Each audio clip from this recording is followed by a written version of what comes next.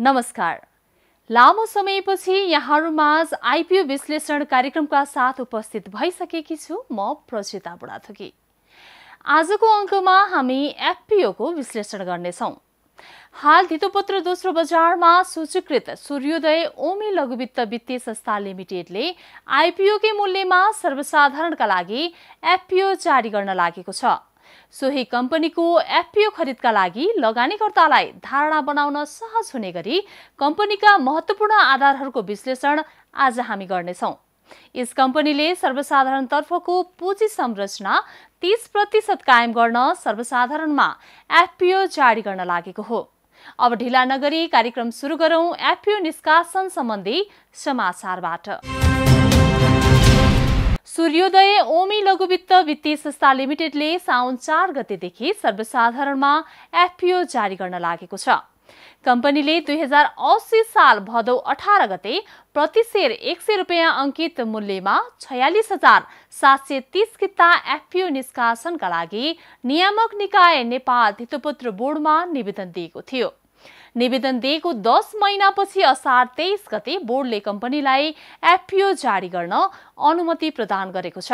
Bank तथा वित्तीय संस्था सम्बन्धी ऐन दुई हजार त्रिहत्तर र नेपाल राष्ट्र बैङ्कले मोर्चरका लागि अन्तिम स्वीकृति पत्र प्रदान गर्दा दिएको निर्देशन बमोजिम कुल जारी पुँजीको कम्तीमा तीस प्रतिशत सेयर सर्वसाधारणलाई छुट्याउनु पर्ने व्यवस्था बमोजिम कम्पनीले एफपिओ जारी गर्न लागेको हो। साबिक सूर्योदय लघुवित्त वित्तीय संस्था र ओमी लघुवित्त वित्तीय संस्था मर्जरपछि सूर्योदय ओमी लघुवित्त वित्तीय संस्थाको रूपमा सञ्चालनमा रहेका छन्। कम्पनीको एफपिओ खरिदका लागि साउन आठ गतेसम्म आवेदन दिन सकिने व्यवस्था छ। सो अवधिसम्म माघ बमोजिम आवेदन नपरेमा भने साउन अठार गतेसम्म बिक्री लम्बिने जानकारी कम्पनीले दिएको छ। लगानीकर्ताहरूले न्यूनतम दस कितादेखि अधिकतम एक हजार कितासम्म माग गर्दै कम्पनीको एफपिओ खरिदका लागि आवेदन दिन सक्नेछन्। बिक्री प्रबन्धक कुमारी क्यापिटल लिमिटेडसँगै आश्वास सेवामा सहभागी सम्पूर्ण बैङ्क तथा वित्तीय संस्था र तिनका सम्पूर्ण शाखा कार्यालयबाट एफपिओ खरिदका लागि आवेदन दिन सकिनेछ। साथै मेरो सेयर अनलाइन मार्फत पनि आवेदन दिन सकिने व्यवस्था कम्पनीले गरेको छ। कम्पनीले एफयु निष्कासन प्रयोजनका लागि गराएको रेटिङमा के रेटिङ नेपालले वित्तीय दायित्व वहन गर्ने क्षमतामा मध्यम जोखिम रहेको सङ्केत गर्ने केएनएनपी डबलबी इस्योर रेटिङ प्रदान गरेको छ के रेटिङ नेपालले केयर एनपी ट्रिपल ए इस्योरदेखि केयर एनपी डी इस्योरसम्मको रेटिङ प्रदान गर्ने गर्दछ जसमा केआरएनपी ट्रिपल ए इस्यु रेटिङले बलियो आधारको सङ्केत गर्दछ भने केआरएनपी डी इस्यु रेटिङले कमजोर आधारको सङ्केत गर्दछ। यस कम्पनीले पाएको रेटिङलाई हेरेर लगानीकर्ताले लगानीको धारणा बनाउन सक्नेछन्। कम्पनीको एफपिओ निष्कासनका सम्बन्धमा तयार पारिएको समाचारबाट यहाँहरूलाई कति आवेदन दिने कहिलेसम्म आवेदन दिने र कहाँबाट आवेदन दिने भन्ने कुरा थाहा भयो होला भन्ने अपेक्षा गर्दै अब लाग्छु कम्पनीको छोटो परिचयतर्फ। कम्पनी ऐन दुई हजार त्रिसठी बमोजिम स्थापित यो कम्पनी दुई हजार अडसठी साल जेठ छब्बिस गते नेपाल सरकार कम्पनी रजिस्ट्रारको कार्यालयमा दर्ता भएको थियो। बैङ्क तथा वित्तीय संस्था ऐन दुई हजार त्रिहत्तर बमोजिम दुई हजार अडसठी साल फागुन पच्चिस गते नेपाल राष्ट्र बैङ्कबाट कम्पनीले वित्तीय कारोबारका लागि अनुमति पाएको थियो। यस कम्पनीमा विभिन्न बैङ्क तथा वित्तीय संस्था बैङ्किङ जलविद्युत सरकारी तथा गैर सरकारी क्षेत्रसँगै शैक्षिक कृषि उद्योग एवं व्यापार र व्यवस्थापन क्षेत्रमा लामो समय काम गरेका प्रतिष्ठित व्यक्तिहरूको लगानी रहेको छ। कम्पनीको केन्द्रीय कार्यालय बनेपा तेह्र साँगा काभ्रे पलाञ्चोकमा छ। हाल कम्पनीले पचपन्न जिल्लामा एक सय बयानब्बेवटा शाखा कार्यालय मार्फत एक लाख बयासी हजार भन्दा बढी विपन्न परिवारमा लघुवित्त सेवा प्रदान गर्दै आएको छ। साबिक सूर्योदय लघुवित्त वित्तीय संस्था र ओमी लघुवित्त वित्तीय संस्थाले मर्चर प्रक्रिया पूरा गरी दुई हजार अठहत्तर साल चैत उन्नाइस गतेदेखि सूर्योदय ओमी लघुवित्त वित्तीय संस्थाको नामबाट एकीकृत कारोबार गरेका थिए। कस्तो छ त यो कम्पनीको पुँजी संरचना? अब त्यसको चर्चा गरौँ। अधिकृत पुँजी एक अर्ब रुपियाँ रहेको कम्पनीको जारी पुँजी एकानब्बे करोड चौन्न लाख पचपन्न हजार रुपियाँ भन्दा बढी रहेको छ।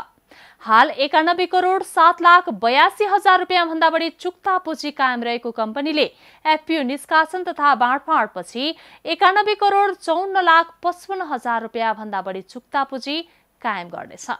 एफपिओपछि कम्पनीको शेयर स्वामित्व संस्थापकतर्फ सत्तरी प्रतिशत र सर्वसाधारणतर्फ तीस प्रतिशत कायम हुनेछ। एफपिओ बिक्रीबाट सङ्कलित पुँजी कम्पनीले व्यावसायिक प्रयोजनका लागि उपयोग गर्ने बताएको छ। कम्पनीले छब्बिस लाख बहत्तर हजार रुपियाँभन्दा बढी रकम विपन्न वर्गमा कर्जा लगानी र बिस लाख रुपियाँभन्दा बढी रकम तरलता व्यवस्थापनमा उपयोग गर्ने बताएको छ। लगानीको प्रमुख आधारमध्ये वित्तीय विवरणलाई एक मानिन्छ। त्यसैले कस्तो छ त कम्पनीको वित्तीय अवस्था? अब त्यसलाई बुझौँ वास्तविक वित्तीय विवरणलाई हेर्दा कम्पनी गत आर्थिक वर्ष उनासी असीसम्म पन्ध्र करोड छ्यात्तर लाख रुपियाँ भन्दा बढी सञ्चित नाफामा रहेको छ। अघिल्लो आर्थिक वर्षको तुलनामा गत आर्थिक वर्ष कम्पनीको सञ्चित नाफा बढेको देखिन्छ। अघिल्लो आर्थिक वर्ष अठहत्तर उनासीसम्म कम्पनीको सञ्चित नाफा बाह्र करोड बयासी लाख रुपियाँ भन्दा बढी रहेको देखिन्छ। चालु आर्थिक वर्षको चैत मसान्तसम्मको अपरिष्कृत वित्तीय विवरण अनुसार भने कम्पनीले सत्र करोड पचपन्न लाख रुपियाँ भन्दा बढी सञ्चित नाफा कायम गर्न सफल भएको छ। चालु आर्थिक वर्ष असी एकासीसम्म कम्पनीले बाइस करोड पन्चानब्बे लाख रुपियाँ भन्दा बढी सञ्चित नाफा गर्ने प्रक्षेपण गरेको छ। वास्तविक वित्तीय विवरण अनुसार गत असार मसान्तसम्म कम्पनीको प्रतिशत आमदानी चार रुपियाँ र प्रतिशत नेटवर्थ एक सय चौन्न रुपियाँ छयासी पैसा छ। चालु आर्थिक वर्षभित्र प्रतिशत आमदानी आठ रुपियाँ अन्ठानब्बे पैसा र प्रतिशत नेटवर्थ एक सय पैँसठी रुपियाँ त्रिसठी पैसा कायम गर्ने प्रक्षेपण कम्पनीले गरेको छ। कम्पनीको सञ्चालकमा को को छन् त अब त्यसको चर्चा गरौँ। कम्पनीको सञ्चालक समिति सातजनाको हुनुपर्ने व्यवस्था रहेको छ। संस्थापक तर्फबाट चारजना सर्वसाधारण तर्फबाट दुईजना र स्वतन्त्र सञ्चालक एकजना रहने गरी कम्पनीको सञ्चालक समिति गठन हुनुपर्ने व्यवस्था बमोजिम सातजनाकै सञ्चालक समिति रहेको छ। लेखनाथ खनिया कम्पनीको सञ्चालक समितिका अध्यक्ष रहेका छन्। त्रिसठी वर्ष उमेरका अध्यक्ष खनियासँग नेपाल बैंक लिमिटेडमा तीस वर्ष काम गरेको अनुभव छ। यी बाहेक साबिक त्रिलोक लघुवित्त र साबिक सूर्योदय लघुवित्तमा समेत अध्यक्ष पदमा रहेर खनियाले काम गरिसकेका थिए। यस कम्पनीमा भने दुई हजार अस्सी साल वैशाख तीस गतेदेखि खनियाले अध्यक्षको जिम्मेवारी पूरा गरिरहेका छन्।